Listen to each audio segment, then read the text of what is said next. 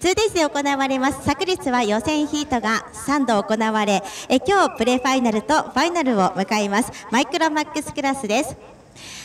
えそれではコースに先立ちましてグリッドをご紹介してまいりましょう。ボールポジションを掴んでいきましたのはカーナンバー37番チームレゴリス前田壮介水波でマックスで勝利をした経験っていうのはどうやらないそうなんです。ただカデットでの勝利の経験はあるんですね。でそれに加えて今シーズン鈴鹿で2勝を飾っていますランキングトップのドライバーです。水波の方もですねランキングはというのは上位にはつけているそんなドライバーなんですね。昨日は予選第1ヒートでトップチェッカーを受けています。ボールポジションはチームレゴリス前田壮介。セカンドグリッドはカーナンバー 23HRS ジャパン柴崎美琴。昨日は予選の第2ヒートでトップチェッカーを受けています。リザルトしっかりと残してきました柴崎美琴です。えそして3番グリッドはカーナンバー88エドマンリンレーシング坂野体験。今シーズン特に強さを見せました。昨年のフェスティバルでもランキング上位のドライバーではなかったんですけれどもねそれでもフェスティバルで2位表彰台を獲得してその後マイクロ来てどんどんどんどん優勝してというそんなドライバーです。坂野体現今シーズンのマイクロのチャンピオンは決めています。4番グリッドはカーナンバー81トリプル A モータースポーツ深町武雄昨日のタイムトライアルでトップタイムをマークしていますし本日のドライコンディションでの、えー、公式練習でもトップタイムでした。深町武雄九州からのエントリーです。5番クリットカーナンバー14番シグマレーシング新橋健非常に明るいドライバーです。APG でマイクロクラスの初優勝を飾っていました。もうすごく嬉しそうであの時は雨だったんですね。もう雨の予報じゃなくて当日の朝雨が降っていたらもうやったーつって喜んでいたようなんですけれどもその気持ちのまま優勝を飾っていきました新橋です。6番クリットカーナンバー17番 PRS ミスサクセス。本新馬。今回もマイクロとミニとダブルエントリーです。7番クリット15番ワイズファクトリーレーシングハリオミサノ。8番クリット26番トリプル A モータースポーツ。こちらも九州から山中ロイ。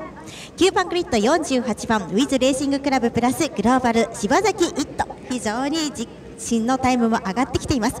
10番クリットこちらも北海道から RT スカラプラス 3QR 和田智也。以上の10名での戦いです。プレファイナル周回数は8周です。今シーズンの最終戦マイクロマックスクラスプレファイナルブラックアウトスタートが切られました。先頭は前どうでしょう前田壮介を上回りまして柴崎美琴アウト側のドライバーがいいスタートを決めていきました。現在先頭は柴崎美琴2番手には深町武雄がつけています。3番手がこれが新橋、えー、楠本新馬ですね。楠本新馬が現在3番手。アウト側のドライバーたちが3台前に出てきています。4番手に順位を戻していきます前田壮介タコツボでは2番手争いです。深町武雄そして、えー、楠本新馬のこちらのバトルが始まってきています。前を行きます柴崎美琴は現在独走中。バックストレートエンドで楠本新馬が戻していきました。深町武雄とのバトルがやはり始まっています。12コーナーの立ち上がり2番手争いが4台。その後ろ6番手争いが5台という形になりましてオープニングラップは柴崎美琴先頭に戻ってまいりました。2番手争いは4台で楠本新馬そのインサイドを伺いた。い投手をじわっといきました。けれどもここは入りきれず、えー、深町武雄は現在3番手ラインを変えて立ち上がってまいります3コーナーその後ろ坂の体験は期待5コーナー手前ノーズを入れかけた。ここは慎重に立ち上がって3番手に浮上です坂の体験は3番手に浮上4番手深町武雄はタコツボその後ろの前田壮介も来そうなので深町はこのポジションどのように考えていくでしょうかえ先頭を行きます、え柴崎美琴なんですが独走でこのまま逃げそうな勢いもありましたが後ろの楠本新馬のペースも上がってまいりまして、えー、その差が縮まってきています。その前の周回はコンマ3秒の差があったんですけれども戻ってくるとその差はどうやら縮まっていそうです。現在先頭は HRS ジャパンの柴崎美琴その後ろの楠本新馬。やはりその差を詰めてきまして100分の6秒差まで詰めてきた。ただタイムの方を見てみますと楠本新馬もいいですが坂の体験の方がですねタイムの方はアップをしている状況ですね。5コーナーからの立ち上がりとなっています。タコツブへとアプローチ先頭を行きます柴崎美琴を捕まえました。2番手の楠本新馬と3番手の坂野大元。トップ3が形成。4番手の方は2台で前田壮介とその後ろが深町なんですけど少しまだ間が空いています。バックストレートエンド。前がバトル早めに仕掛けてくれれば前田壮介も深町も少し楽になる楽になって楽にな状態でトップに追いつくんですけれどもどのような展開を見せてくるでしょうか。楠本は現在2番手の楠本は早めに仕掛けそうな感じもしますが1コーナーから2コーナーにかけてやはり楠本が動いていった。トップが入れ替わりました。柴崎美琴を捉えました。楠本慎馬がトップに立った。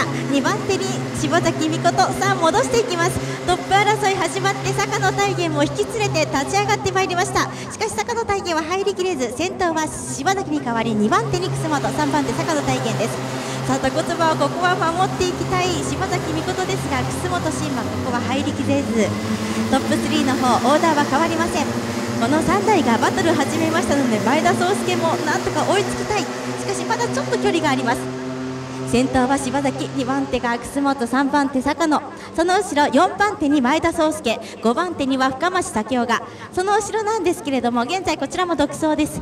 えシグマレーシングの新橋健その後ろハリオミ佐野がタイムを上げて追いついてきましたね。ハリオミ佐野現在は7番手。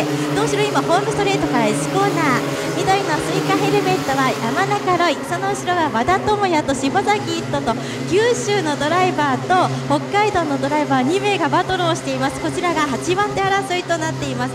今こちら5コーナーへとアプローチをしています。3台です。水波に来るのもなかなか遠征となりますので難しいところではありますけれどもこういったドライバーたちも本当に頑張っています。さあ残り周回は3周半となる中でトップ3の中で前2台と後ろ、えー、坂野大銀が現在少しギャップを上げて前を追っている状況に変わりました。現在先頭は柴崎美琴その後ろに楠本慎馬がピタリとつけています。最終セクションから立ち上がってまいります。現在ラップタイムとしましてはこの周回セクター1では坂野大元がベストをマーク。さあ1コーナーでは柴崎の後ろ楠本慎馬はここはついていく感じですね。2コーナーからの立ち上がりです。楠本慎馬はセクター3で全体のベストをマークしていますからスピードは乗っているはずですね。セクター1では柴崎も楠本も自己ベストをマークしています。タコツボへとアプローチをします。柴崎美琴はミドルラインからの立ち上がり。後ろの楠本は動けません。しかしどうでしょう。2番手と3番手の差が少し縮まってきたようです。先頭の柴崎味方がちょっと苦しいのか後ろからのプレッシャーをなんとかこう受け止めてなんとか跳ねのけたいところはあるんですけれども最終コーナーから立ち上がってまいります。HRS ジャパンの柴崎美琴後ろからは ERS ウィズサクセスの楠本慎馬。さあ1コーナー立ち上がってきます。マイクロクラスちょっとここは2コーナーなんとかここを抑えていきたい柴崎美琴セクター1、セクター2はこういった後ろのドライバーを従いながらも柴崎美琴は自己ベストをマークしています。後ろとのギャップはもう非常にわずか100分の8秒となっているんですが2番手と3番手の坂野大元との差は、えー、コンマ6秒となります。3番手の坂野大元後ろの4番手の前田壮介前田壮介もペース上がってまいりました。さあバックストレートエンドでは柴崎美琴のこの防御をなんとかこう楠本慎馬は切り開いていきたいところです。戻ってくると残り周回1周のファイナルラップとなります。最後の1周の対決はどうなるでしょうか？先頭は柴崎美琴で戻ってまいりました。さあ1コーナー楠本はどうするか。ラインを変えていったのは柴崎美琴をなんとか抑えていきたい。2コーナーから3コーナーへとアプローチトップ2オーダーは変わりません。坂野体験はギャップを詰めてコンマ4秒の差まで詰めてまいりました。さあ5コーナー手前いよいよ動きました。楠本慎馬飛び込んでいった。クロスラインを取りながら柴崎美琴トップ奪還。トップ3が団子状態になりました。タコツボ前の2台がイン側からアウトに振ったのは坂野大元。3番手の坂野大元が動いてきて立ち上がりで横に並びかけてきた。2番手に浮上。坂野大元2番手に上がった。速度が乗っている。バックストレート柴崎美琴は守ってなんとアウト側から。坂野大元。それまで3番手につけていました坂野大元がこのファイナルラップ。バックストレートエンドで前も捉えました。このプレファイナル最終コーナーからの立ち上がり今シーズン負けなしの坂野大元はトップチェッカーです。2番手柴崎美琴3番手楠本真馬4番手に前田宗介5番手深町武雄。6番手に新橋健7番手ハリオミサノ8番手に山中ロイ。和田智也柴崎一斗とチェッカーを受けました。以上今シーズンの最終戦プレファイナル。トップチェッカーは坂野大元。ファステストも53秒242と坂野大元でした。